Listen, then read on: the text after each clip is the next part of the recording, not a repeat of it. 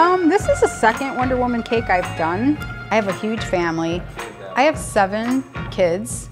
I have nine grandkids. Somebody's always having a birthday. These are my cupcake liners. People were always asking me to do cakes and I just fell back into it. It's an awesome oven.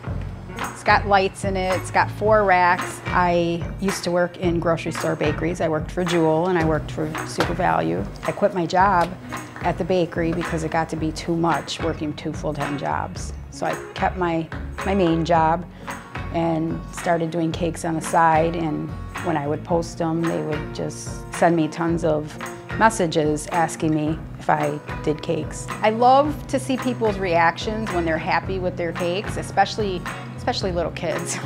little kids just, they don't hold any expression back. My grandkids are always showing me pictures and ideas of what they want for their next cake. And my granddaughter wanted Olaf three years in a row, and I, I, I did it two years. No, I did it three years in a row. She wanted it again this year, so I made her a Grinch. It makes me feel really good when I can ask my grand, my little grandson, he's three, who is this? And he knows exactly who it is, because then I know that I, I have it right on. Cakes are my passion.